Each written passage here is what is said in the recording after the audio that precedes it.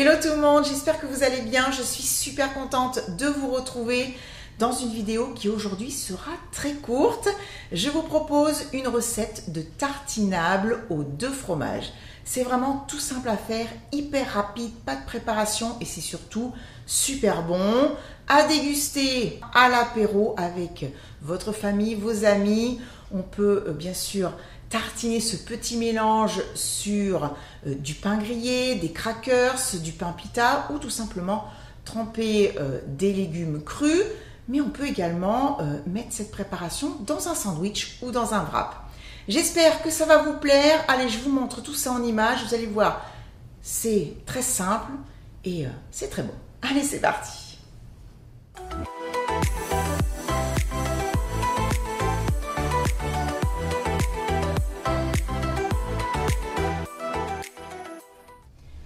Les ingrédients sont sur mon plan de travail. N'oubliez pas que vous pouvez retrouver la liste complète qui sera notée en description.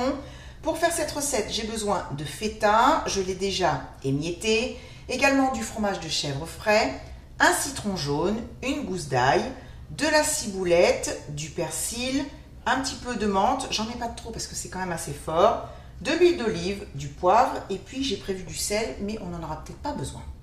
On va commencer, comme je vous le disais tout à l'heure, ça va être super rapide et pour une fois, je ne vais pas beaucoup travailler. Écoutez, ça me change un petit peu.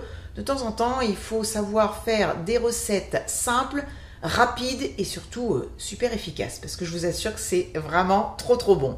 J'ai sorti mon petit robot mixeur, j'ai mis dans le bol les deux fromages. Alors bien sûr, si vous n'aimez pas la feta et le fromage de chèvre, vous n'aimerez pas cette recette, c'est évident.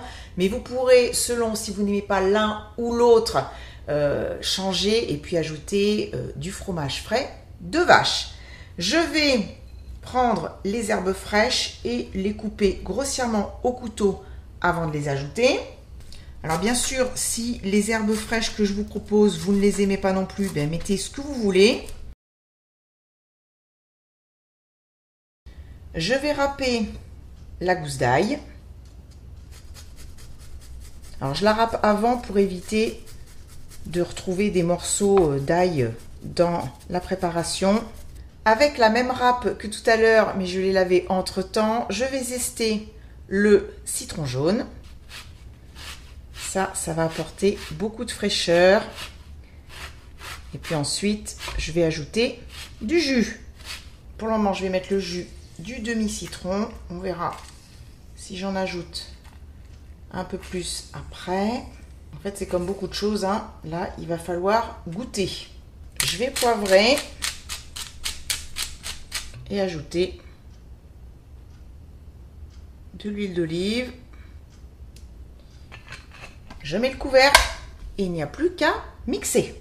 Je n'hésite pas à prendre une spatule comme ça et à racler les bords. Je remets le couvercle et je mixe encore un petit peu. Il ne faut pas hésiter à mixer quelques minutes pour obtenir une texture et une consistance bien homogène. Voilà ce que ça donne. Voilà, c'est ni trop liquide, ni trop épais. J'ai coupé les tranches de baguettes que j'ai fait griller. Je vais tartiner ce mélange de fromage, d'herbe et de citron. Et puis je vous retrouve pour goûter. Alors bien sûr, je ne vais pas tout mettre dans ma bouche parce que sinon je pense que je vais avoir un petit souci. Je vais croquer.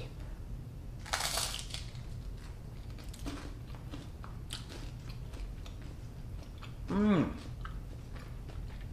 C'est super bon. Mmh. Ça a du goût, hein. Je vous assure, ça a du goût. C'est vraiment très très bon. Alors c'est vrai que la feta étant un fromage assez fort, il prend le dessus sur le fromage de chèvre qui lui est plutôt là pour apporter cette onctuosité à ce tartinable. On sent bien les herbes, notamment la menthe. Heureusement que j'en ai pas mis plus parce que ça aurait été trop fort. Et puis le citron, il est là pour apporter cette fraîcheur et puis cette petite pointe d'acidité. C'est vraiment super bon. Et à noter que je n'ai pas salé la préparation.